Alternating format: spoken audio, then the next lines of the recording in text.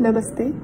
मेरा नाम महर है और मैं आज ये वीडियो अपना एक्सपीरियंस कोरोना वायरस के साथ बताने के लिए बना रही हूँ। पहले मैं बात करना चाहूँगी कि मेरे सिम्टम्स कैसे रहे एंड uh, मुझे कोरोना वायरस हुआ कैसे। Uh, आप शायद जान के काफ़ी सरप्राइज़ होंगे कि मुझे ये वायरस घर पे बैठे बैठे हुआ है and without any interaction with any outsider हुआ है।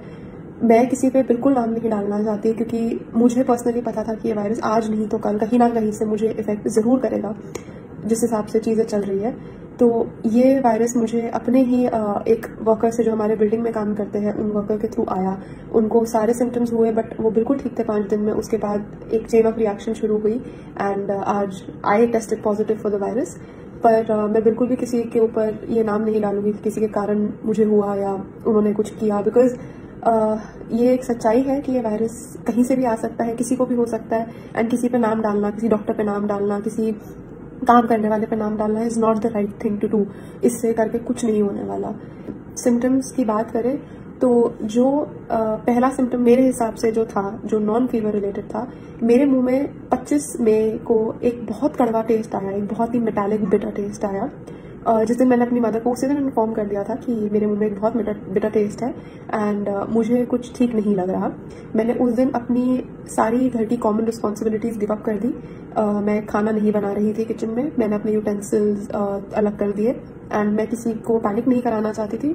इसलिए मैंने ये चीज़ काफ़ी अपने एंड से सीक्रेटिवली करी ताकि मैं अपने तरफ़ से सबसे दूरी मेंटेन कर सकूँ। मैंने मास्क पहना किचन में कोई मेरे कमरे में आ रहा था मैं मास्क पहन रही थी ये बोल के कि हमारी बिल्डिंग में किसी को ऐसा हुआ। तो इसलिए मैं अपने तरफ़ से प्रिकॉशन ले रही थी। ट्वेंटी नाइन्थ मे की सुबह जब मैं उठी तो मुझे हल्का फीवर फील हुआ और बॉडी गर्म फील हुई। बहुत मेरी टांगों में दर्द हो रही थी और बहुत बैक में दर्द हो रही थी। मुझे लगा शायद कि मैंने एक्सरसाइज ज़्यादा कर ली है, पिछले दिन या वॉक ज़्यादा कर ली है तो मे बी इसलिए वो दर्द हो रही है। लेकिन वो दर्द उठने के दो तीन घंटे के बाद भी थी काफ़ी ज़्यादा और वो टेम्परेचर मुझे महसूस हो रहा था कि मेरी बॉडी और भी ज़्यादा गर्म हो रही है। दूसरे दिन ये जब मेरे पास थर्मोमीटर आया सेम सिम्टम्स थे एग्जैक्टली exactly, अभी भी मुझे फीवर था और वो फीवर थर्मोमीटर के हिसाब से 101 पे था जब मैंने सुबह देखा और मेरी बॉडी में बहुत दर्द थी मेरा दिमाग पूरी तरीके से घुमा हुआ था अगर मैं इन शब्दों में बोलूँ क्योंकि अगर मैं सीधा देख रही थी तो मुझे लग रहा है मेरा दिमाग इस तरफ़ देख रहा था मैं ये सिम्टम्स समझा नहीं सकती और वो दिमाग पूरी तरीके से घुमा हुआ था। अगर आप मुझे कुछ बोल रहे थे तो मैं उस चीज़ को रजिस्टर नहीं कर पा रही थी उस टाइम पे बिल्कुल भी। फिर डॉक्टर ने मुझे बोला कि आपको टेस्ट कराने की ज़रूरत नहीं है सिंस आपको कफ नहीं है ब्रीदिंग इशू नहीं है नोज़ नहीं बह रहा, और ऐसा कोई लाइक प्रोमिनेंट नहीं है। तो मैंने उस टाइम पे अग्री किया उनसे एंड उन्होंने मेरे को नॉर्मल पैरासिटामॉल और अजिथ्रोमाइसिन फाइव हंड्रेड एम लेने को बोली। डे थ्री जब मैं उठी सिम्टम्स एग्जैक्टली सेम थे, बुखार एक सौ दो था एंड मुझमें इतनी भी हिम्मत नहीं थी कि मैं बाथरूम तक जा सकूँ। मेरे को हल्की हल्की सांस चढ़नी महसूस हुई उस दिन और हल्की सी खांसी चालू हो गई एंड बॉडी पेन अभी भी था एंड मेरे को बिल्कुल भी साइकोलॉजिकली पता नहीं क्यों ऐसा लग रहा था कि मेरा दिमाग नहीं चल रहा बिल्कुल भी और बहुत थकावट हो रही थी एंड मेरी एपटाइट बिल्कुल ख़त्म हो चुकी थी और कुछ भी खाने को ऐसा लग रहा था कि मैं वॉमिट कर लूँगी। तो इस टाइम तक मैंने अपना वेट डे वन पे भी लिया था 58 एट था एंड अभी डे थ्री है वो 55 फाइव हो चुका था। तो everything that was happening every symptom that was happening was just making me feel कि हाँ ये करोना वायरस ही। है एंड डे फोर जब uh, मैं उठी मेरा फीवर 99 था मुझे हल्की सी कफ थी एपेटाइट नहीं थी बट ओवरऑल uh, मुझे बेटर फील हो रहा था काफ़ी। और थकावट नॉर्मल जो एक बुखार के रेजिडुअल सिम्टम्स होते हैं मैं कहूँगी वो मुझे उस टाइम भी हो रहे थे। डे फाइव मुझे काफ़ी बेटर फील हुआ। एपेटाइट अभी भी ज़ीरो थी बिल्कुल। मैं ज़बरदस्ती फिर भी खा रही थी अपने तरफ़ से। uh, थोड़ा बहुत जितना भी खाया जा रहा था मैं खा रही थी।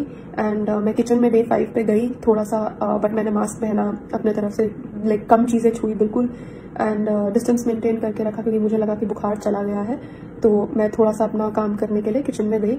And day five I was perfectly feeling better I thought I was recovering on day six one मतलब अभी भी मेरे को ये सब थकावट और पेट में डिस्कम्फर्ट और ये सब चीज़ें महसूस हो रही थी मैंने अपने फ्रेंड से फ़ोन पे बात करते हुए जब मैं वॉक कर रही थी मैंने बताया कि जब मैं बात कर रही हूँ मुझे काफ़ी सांस चढ़ रही है एंड uh, मतलब मेरे से मेरी नॉर्मल कैपेसिटी ऐसी नहीं है कि मैं बात करते करते मुझे सांस चढ़नी शुरू हो जाए तो मेरे को हर दस पंद्रह मिनट में फ़ोन रख के सांस लेनी पड़ रही थी।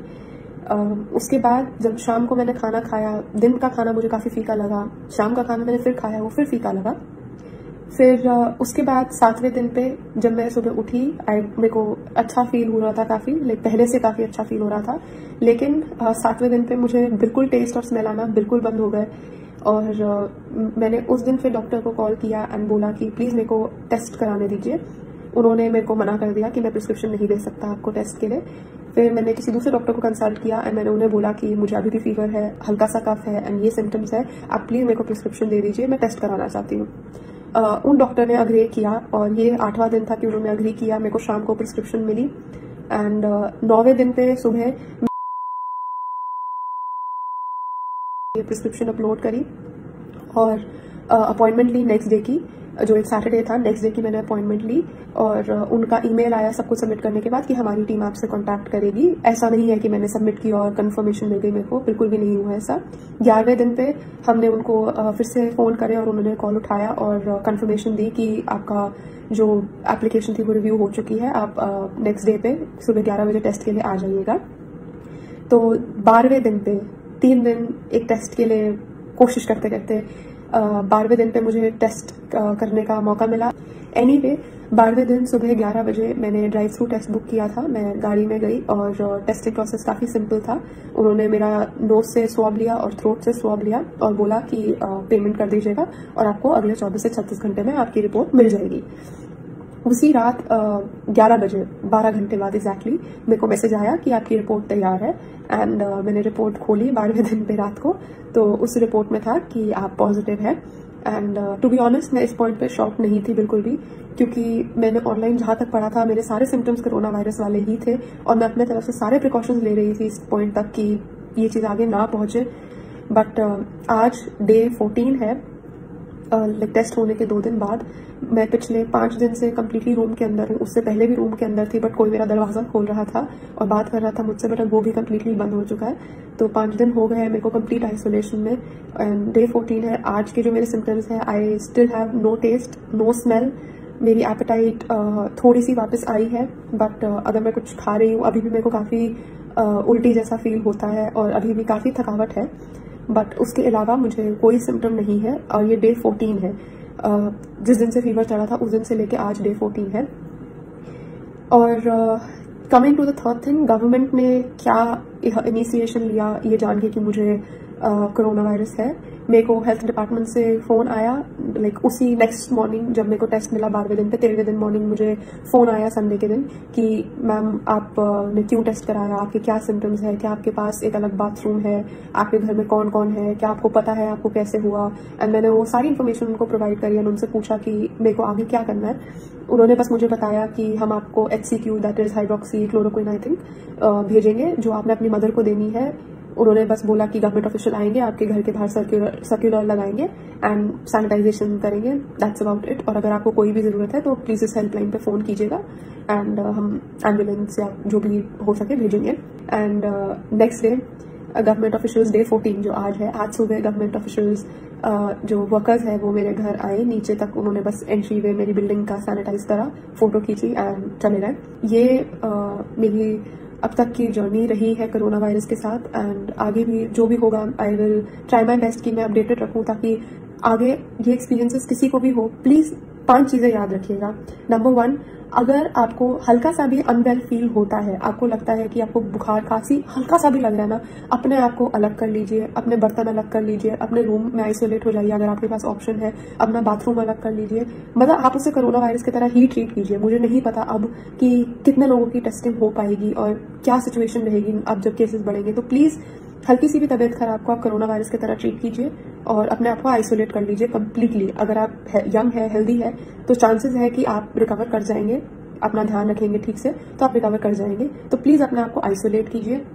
दूसरा जो चीज़ें आप एक वायरल इन्फेक्शन में रेगुलरली अपना ध्यान रखने के लिए करते हैं, वो कीजिए, पानी पीजिए, ठीक से खाना खाइए, अपने सप्लीमेंट्स लीजिए vitamin B vitamin C zinc vitamin जो आपके बी कॉम्प्लेक्स है जिंक है। और अगर आप अल्कोहल पी रहे हैं, अभी भी स्मोक कर रहे हैं, मैं आपसे हाथ जोड़ के रिक्वेस्ट करती हूँ प्लीज़ आपका इम्यून सिस्टम काम नहीं कर पाएगा। प्लीज़ अल्कोहल मत पीजिए स्मोक मत कीजिए। अगले पंद्रह बीस दिन बहुत क्रूशल है हम सबके लिए। एंड हमको ये चीज़ नहीं आगे बढ़ानी। नंबर तीन, अगर आपके घर में कोई भी हाई रिस्क ग्रुप पे है प्लीज़ उनसे डिस्टेंस मेंटेन करके रखिए, उनसे दूर रहिए। ऐसे पागल मत फील कराइएगा किसी को, लेकिन अपने तरफ़ से हमें नहीं पता कि हमें वो वायरस है या नहीं, क्योंकि पंद्रह दिन तक लग सकते हैं ये दिखाने के लिए कि आपको कोई भी सिम्टम है। तो प्लीज़ अपने फैमिली वालों से डिस्टेंस मेंटेन करके रखिए। चौथा, अपने तरफ़ से हाइजीन की सारी प्रिकॉशंस लीजिए, अपने बर्तन हो सके तो अलग ही रखिए अपने फैमिली में ताकि क्रॉस कंटेमिनेशन के चांसेस वैसे भी बहुत कम हो जाएँगे। और कोई भी ग्लास खाना वगैरह शेयर मत कीजिए फ़िलहाल। एंड पांचवा प्लीज़ अपना एटीट्यूड इस चीज़ के टूवर्ड्स इजी गोइंग तो बिल्कुल भी ना रखिए, लेकिन पैनिक ना करें अवेयरनेस क्रिएट करें। अगर आपको हॉस्पिटल जाने की ज़रूरत ना है, नहीं है प्लीज़ अपने घर पे रहिए, कमरे में रहिए, अपने डॉक्टर से कंसल्ट कीजिए, आपको रेगुलर दवाइयाँ जो वो बोलेंगे प्लीज़ कंज्यूम कीजिए। एंड आप अपना ध्यान जितना रख सकते हैं, रखिए।